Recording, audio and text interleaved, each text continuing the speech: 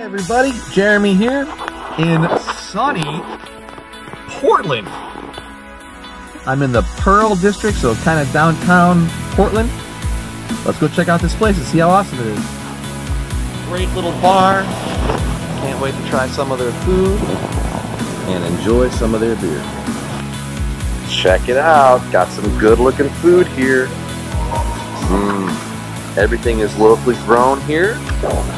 And you get to one of their favorites here, one of their best, the pretzel.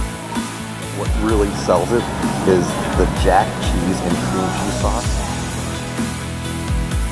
All right, I got my favorite so far, the Nitro Obsidian Stout.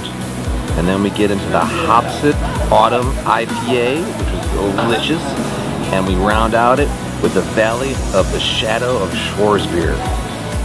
All right, insider tips food that you gotta try, according to Yaya, and I believe her. She says the fried chicken and waffles are great. You gotta do the mac and cheese and the crab roll are supposed to be fantastic.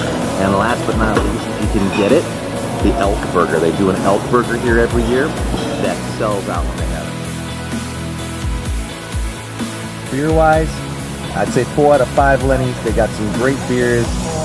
Doesn't matter what you like, they got a little bit of everything some fantastic yumminess right there. Food wise, I only tasted a couple things, but like I said, I cannot wait to come back to Portland for that pretzel alone. Really, really good.